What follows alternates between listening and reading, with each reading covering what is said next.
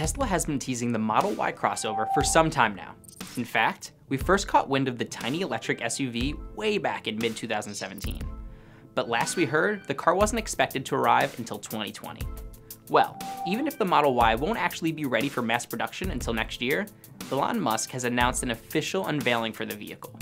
On March 14th, journalists and a few other lucky folks will get a chance to test drive one at an event in LA.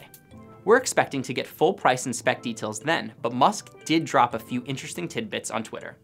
For one, he noted that the Model Y is about 10% larger than the Model 3, which is based on. He also said it will have a price tag to match. Of course, being slightly larger, it's also going to have slightly less range than the Model 3, but that shouldn't come as much of a surprise. We also got word that Tesla's next gen supercharger will be launching on March 6th. That we have even less info on, sadly. Musk has bragged that competitors' cutting edge 350 kilowatt stations should seem like a children's toy by comparison.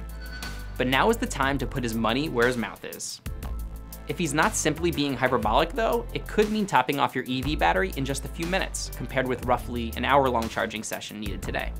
But it's worth noting, there's no guarantee that Teslas currently on the road will be able to handle that amount of current. So maybe wait until we have more details before getting too excited. We'll see you tomorrow with more Engadget Today.